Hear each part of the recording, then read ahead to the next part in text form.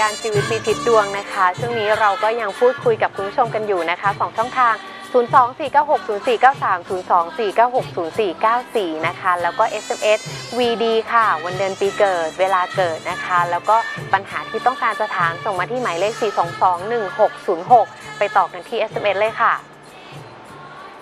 จากคุณจักรพันธ์นะคะ เกิดวันที่ 10 ธันวาคม 28 เวลาโดยประมาณนะคะ อยู่ที่ตีสี่ถึงตีห้าถามสองเรื่องนะคะ งานกับเงินค่ะ งานกับเงินเอ่อช่วงนี้เนี่ยเรื่องการงานเนี่ยนะครับนะเรื่องการงานเนี่ยตอนนี้เนี่ยยังถือว่าจะมีการเปลี่ยนแปลงเรื่องงาน และจะต้องย้ายสถานที่ทำงานในช่วงปลายปีอืม นะครับแต่ว่างานนี้เอ่อยังไม่ดีนักนะครับ จะไปดีในปีหน้าเพราะฉะนั้นงานค่ะตรงนี้จะอยู่ไม่ทนทำที่ไหนอืมก็จะเปลี่ยนได้ง่ายค่ะก็พอทำได้อยู่แต่ยังไม่ทนนัก ส่วนเรื่องการเงินเนี่ย อยู่ในสภาวะที่ที่ลักษณะว่าเงินรั่วไหลหรือใช้เงินหนักมาก อืมซึ่งมีภาระเรื่องเงินหนักไปจนกระทั้งถึงสิ้นปีหน้า ค่ะครับ นะคะ ท่านต่อไปค่ะ เกิดวันอังคารที่ 23 ธันวาคม ปี 23 ค่ะ เวลาบ่ายโมงครึ่ง ลักษณะเนื้อคู่มีไหมงานสุขภาพเคราะห์เอ่อเรื่องงาน งานค่ะ ดวงนี้เนี่ยนะครับเอออยู่ในย่วงอายุ 35กำลังจะ 36 ซึ่งยังอยู่ในช่วงเปลี่ยนรอบอายุใหม่นะครับกำลังจะอืมเปลี่ยนรอบอายุใหม่เอาแต่เป็นว่าอย่างนี้นะครับนะครับว่าเออตอนนี้เนี่ยเรื่องงานเนี่ยไม่มั่นคงนักค่ะนะอาจจะต้องย้ายที่ทำงานใหม่นะครับแต่ว่าการย้ายจะทำให้สภาวะงานเนี่ยดีขึ้น ดีกว่าไม่ย้ายนะครับค่ะแล้วก็เรื่องการเงินนี่เอ่อสถานการณ์ตอนนี้การเงินเนี่ยจะอยู่ในสภาวะที่มีภาระเรื่องใช้จ่ายเงินหรือหาไม่ทันใช้เนี่ยอืม ซึ่งจะเป็นอย่างนี้ไปเรื่อยๆเนี่ยนะครับ ไปจนกระทั่งสิ้นปีเนี้ยอืมนะสิ้นเดือนธันวาปีนี้ แล้วปีหน้าถึงจะเริ่มคลี่คลายดีขึ้น ความรักลักษเอ่ณะอเนื้อความรักคู่นี้ค่จะยังยังดวงเนี้ยจะมีเกณฑ์อกหักต่อเนื่องนะเขาเรียกอกหักซ้ำซากไปจนถึงสิ้นปีหน้าค่ะแล้วถึงจะมีความสำเร็จโอ้พูดง่ายๆก็คือว่าต้องหกหนึ่งขึ้นไปแล้วความรักถึงจะมีโอกาสสมหวังครับค่ะลักษณะเป็นไงคะเอ่อเนื้อคู่นี่เป็นคนที่ค่อนข้างสูงวัยนะหรือว่าอืมเป็นคนเอ่ออาจจะเป็นต่างวัย หรือว่าเป็นคนที่เป็นไม้มาก่อนค่ะนะครับอืมมีเคราะห์อะไรไหมคะ เอ่อมีเคราะห์นะไม่มีแต่ว่าดวงนี้ระวังเรื่องเกี่ยวกับกระดูกข้อเส้นเอ็นอาจจะมีการอักเสบของข้อและเส้นเอ็น นะคะครับ ค่ะท่านต่อไปค่ะ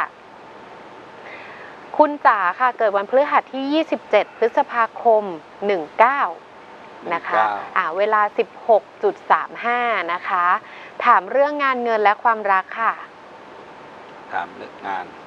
เรื่องงานเนี่ยปีเนี้ยไม่ค่อยดีนักนะฮะและงานเนี่ยต้องระวังถ้าทำธุรกิจส่วนตัวปีเนี้ยจะต้องเปลี่ยนอาชีพหรืองานเสียหายเลยอืม นะครับหรือว่าถ้าทำงานกินเงินเดือนอาจจะต้องย้ายงานใหม่ หรือว่าค่ะ ไปรับหน้าที่ใหม่ มส่วนเรื่องอะไรนะ ความเงิรักนความรักค่ะ เอ่อความรักนี่ช่วงนี้เนี่ยเรื่องความรักเนี่ยมีโอกาส ถ้าสมมติว่าเป็นโสดเนี่ยมีโอกาสเริ่มต้นความรักครั้งใหม่นะครับ ค่ะนะก็ถือว่าดีถ้าเป็นโสดนะ ถ้ามีครอบครัวแล้วต้องระวังนะจะกลายเป็นเรื่องชู้สาวนะคะนะครับท่าต่ไปส่วนเรื่องการค่ะเงินการก็เงินค่ะการเงินการเงินนี่ยังเหนื่อยอยู่ฮะเพราะว่ายังไม่คล่องตัวจนอืมกว่าจะสิ้นปี 60อืมครับนะคะท่านต่อไปค่ะ คุณประพัฒสอนค่ะ เกิดวันที่ 26 สิงหาคม ปี 17 เวลาตีหนึ่งสี่สิบหกค่ะตีหนึ่งสี่สิบอ่าหกถามว่าค้าขายอะไรดีคะเอ่อดวงนี้นี่จริง ๆ เป็นดวงแม่ค้าเลยนะ ค้าขายได้ทั้งหมดเลย แต่ว่าลักษณะดวงก็บอกว่าจะค้าขายสินค้าที่เกี่ยวพวกอุปกรณ์สื่อสาร อืม หรือพวกแกดเจ็ตที่เกี่ยวกับระบบสื่อสารก็จะรวมเด่นทั้งกว่าขายหนังสือย่างออื่น ได้ด้วยฮะอืมคืออะไรก็แล้วที่ที่แปลว่าสื่อสารนะขายได้หมด ค่ะพวกแกดเจ็ตมือถือหนังสือพิมพ์ หนังสือวารสารนี่ขายได้หมดนะครับ อืม แล้วก็ขายเสื้อผ้าได้อันดับค่ะ สองแต่ว่าไม่ควรขายอาหาร ไม่ควรขายอาหาร อาหารที่เป็นงดไว้ อาหารทานประเภทพวกอาหารทานอิ่มอะนะฮะค่ะ ยกเว้นขนมพ อได้ ขนมจุ๊บจิ๊บได้ได้ถ้าเป็นอาหารครับเป็นจานไม่ได้ๆผ่านไม่นะเอาครับไม่เอาแล้วก็เอาไปว่าพวกอุปกรณ์สื่อสารจะดีกว่า ค่ะครับท่านต่อไปค่ะ คุณรัตนาพรค่ะ เกิดวันที่ 7 เมษา22 เมษาสองสองค่ะ เวลานะคะ 10นาฬิกา20 นาทีค่ะ จะครับสอบติดงานราชการไหมคะโชคลาภและการเงินค่ะเออต้องพยายามนะมีโอกาสได้รับราชการนะครับ นะครับ โดยเริ่มมีโชคตั้งแต่ปีนี้เป็นต้นไปแต่ต้องขยันนิดนึง เพราะในอืมดวงบอกเป็นคนที่จิตใจเนี่ยหมายว่าเบื่อง่ายอืมถ้าหนักแน่นกว่านี้นะครับ ผมว่าน่าจะได้ละปีนี้แหละครับ เงินเป็นไงคะเอ่อการเงินนี่ยังยังอยู่ในสภาวะเขาเรียกเงินหมุนเนี่ยหาเช้ากินค่ำลักษณะหมุนไปหมุนมานะคะแต่ยังไม่ถึงการเดือดร้อนนะครับ แต่เพียงต้องหมุนเงิน อืมนะคะ ท่านต่อไปค่ะมาเลยค่ะ มาเลยอ่าจาก คุณสุภชัยนะคะ เกิดวันที่ 26 ธันวาคม ปี 17 เวลาตี4.55งานกับเงินค่ะเอ่อเรื่องการเงินนะครับ การเงินเนี่ยจะค่อยๆ ฟื้นตัวดีขึ้นนะครับ ค่อยๆ ฟื้นตัวดีขึ้นตั้งแต่ปีนี้เป็นต้นไป ส่วนเรื่องการงานเนี่ยนะครับ เรื่องการงานเนี่ยมีแนวโน้มว่าจะเริ่มงานใหม่ ๆ หรือว่าไปทำอะไรงานใหม่ แต่ต้องอดทนนะฮะ กว่ากว่าทุกสิ่งทุกอย่างจะเข้าที่เนี่ย ต้องใช้เวลาเกือบ 2 ปี อืมแต่จะดีขึ้นเรื่อยๆครับ ค่ะ เงินด้วย การเงินก็กำลังเริ่มดีขึ้นไงฮะที่บอกว่าอืม จะต้องเป็นภาระแต่ว่าจะค่อยๆดีขึ้นครับ นะคะ ท่านต่อไปค่ะ 9 กันยา ปี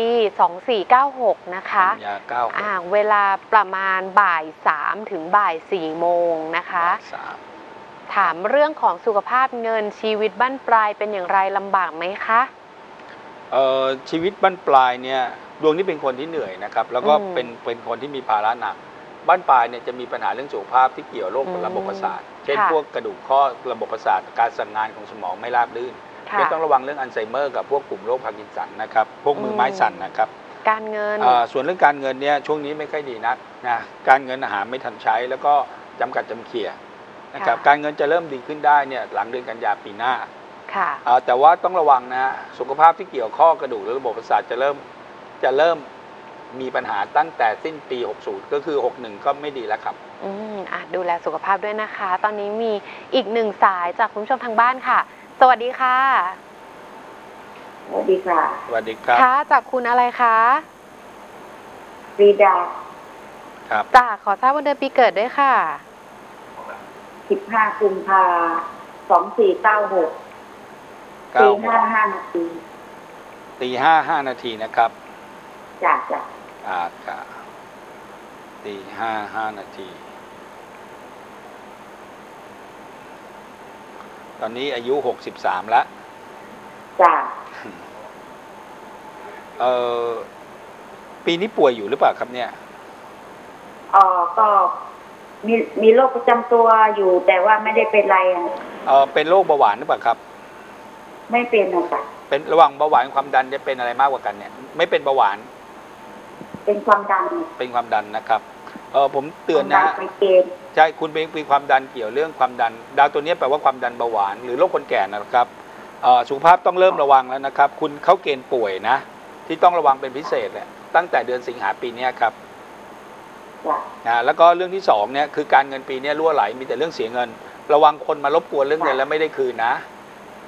จ้ะจ้ะใครมาหยิบยืมปีเนี้ยไม่ได้คืนเลยนะครับนะครับ อ่า แล้วก็ตั้งใจจะทำเรื่องเกี่ยวกับบ้านหรือเปล่าฮะเนี่ยเปล่าจ้ะไม่นะฮะเพราะดวงคุณน่ะมีเรื่องจะต้องวุ่นวายกับเรื่องบ้านในปลายปีนี้ตั้งแต่เดือนสิงหาเป็นต้นไปอืมจ้ะจ้ะนะก็ระวังอาจจะต้องซ่อมบ้านทำบ้านใหม่อะอ๋อจ้ะจ้ะครับ อะจะถามอะไรอีกไหมเอ่ยเอ่อเรื่องการเงินโชคลาภอะเอาการเงินไม่ดีไงโชคลาภไม่มีเพราะตอนนี้เขาเกณฑ์เงินรั่ว อย่าให้ใครหยิบยืมนะก็ตอนนี้เขาเกณฑ์เงินรั่วอยู่ ครับจ้ะจ้ะเอาอ๋อจ้ะมีอะไรไหมแล้วก็ลูกหลานอะไรเอ่อลูกหลานไม่ได้มีปัญหาอะไรนะ ลูกหลานก็ยังพึ่งพาได้อยู่นะครับ แต่ว่าช่วงนี้ลูกหลานเหมือนกับอะไรนะครับ ปัญหาปัญหากับกับตัวเองเนี่ยนะเป็นอะไรบ้างเออปัญหาของคุณเองก็คือเรื่องสุขภาพโดยเฉพาะระวังเรื่องความดันนะครับ ตั้งแต่เดือนสิงหาไปสุขภาพจะเริ่มไม่ค่อยดีนัก แล้วก็ อีก2ปีเนี่ยจะมีปัญหาเรื่องเดินน่ะเดินลำบากเหมือนกระดูกเสื่อมอ๋อจ้ะจ้ะครับก็โรคคนแก่แหละครับ ดูแลดีๆ จะได้ไม่เป็นอะไรมาก มีโชคมีลาบไหมคะไม่มีครับเพราะตอนนี้เงินรั่วอยู่อืม นะจะมีโชคมีลาบต้องปีหน้านู้นนะครับ ต้องประมาณค่ะ ปลายปีเลย ตั้งแต่เดือนตุลาของปี 60 นะครับ ถึงพอพอมีโชคลาภจ้ะจ้ะจ้ะจ้ะครับ นะคะจ้ะจ้ะมีอะไรเพิ่มเติมไหมคะ ไม่มีจ้ะขอบคุณค่ะ ครับสวัสดีครับ สวัสดีค่ะอ่ามาต่อกันที่ SMS นะคะ จากคุณนันทิสาค่ะ เกิดวันที่ 14 ธันวาคม 34 สามสี่อ่าเวลา 10.05 นะคะ งานราชการหรือว่าค้าขายดีกว่ากันคะ การเงิน จริงๆ งานราชการก็ทำได้นะครับ แต่ว่าอืมดวงเนี้ยเขาบอกว่ามีโอกาสที่จะทำธุรกิจด้วยตัวเองค่ะ นะครับแล้วความสำเร็จของตัวเองเนี่ยจะเกิดขึ้นในช่วงที่ปี 63 ตั้งแต่มกรา63 เป็นต้นไปอืมแต่ถ้าอยากรับราชการนะครับก็ตั้งใจตั้งแต่ปีนี้ครับปลายปีนี้จะเริ่มมีช่วงทางราชการอืมปลายปีนี้ค่ะตั้งแต่กันยาเป็นต้นไปจะมีช่วงทางราชการนะครับ ค่ะลองดูนะครับนะคะ ท่านต่อไปค่ะ คุณนันนพัฒน์ค่ะ เกิดวันจันทร์ที่ 21 ธันวาคม 24 เวลา 6.20 ค่ะอาจารย์ อยากจะทำต่างหูขายดีไหมคะ อยากจะทำตาดวงนี้เป็นดวงงานฝีมืออยู่แล้ว โดยธรรมชาติถามว่าดีไหมก็ดีครับอืมนะครับ เป็นดวงงานที่เกี่ยวกับงานฝีมืองานพวกประดิษฐ์ประดอย และงานที่เกี่ยวกับการใช้หัตถกรรมค่ะ นะครับ แล้วแต่ว่าดวงนี้มีข้อค่ะ เสียอยู่นิดเดียวอะนะครับเป็นมีข้อเสียอยู่นิดเดียวอะก็คือหมายความว่าเอ่อด้วยฝีมือเนี่ยเป็นคนทำอะไรช้า อืม เมียนทำอะไรก็ช้า เมียนอาจจะต้องจ้างคนช่วยทำ ไม่งั้นแล้เดี๋ยววก็ทำไม่ทันใช่ครับ เขา แล้วก็ดวงเนี่ยควรจะมองเอ่อศิลปะออกแบบไอ้พวกต่างหูที่เป็นลักษณะแอนทิคนิดหนึ่งคือโบราณนิดหนึ่งอืม เป็นลายโบราณเก่าๆอะจะประสบอืม ความสำเร็จได้ง่ายกว่า อืครับมนะคะ ก็เดี๋ยวทำแล้วเป็นยังไงก็มาอัปเดตให้กันฟังครับ บ้างนะคะ เอาละค่ะ เดี๋ยวพักสักครู่นะคะ ช่วงหน้ายังส่ง SMS เข้ามาได้นะคะ VD ค่ะตามด้วยวันเดือนปีเกิดเวลาเกิดและข้อความส่งมาที่หมายเลข 4221606 ไปพักสักครู่ค่ะ